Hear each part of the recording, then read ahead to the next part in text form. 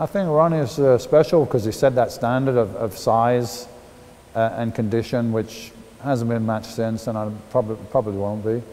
So um, he's special for that, and uh, you know, trying to find a picture of me smiling when I was Mr. Olympia and training for Mr. Olympia, you, you're hard pressed to find one of those because it's tough, you know. And I don't feel like smiling because I was in a war and it was a war with myself and everybody else and so on. But Ronnie managed to do it all the time with a smile on his face. So uh, I think he'd probably remembered for that uh, personality as well and his interaction with the fans. He loved to be with the fans all the time and so on.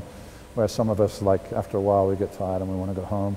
Ronnie seemed to be staying there. So I think, you know, for what he did and for his personality, his, uh, you know, um, smiling and uh, being a nice guy all the time. So I don't think you can not like Ronnie.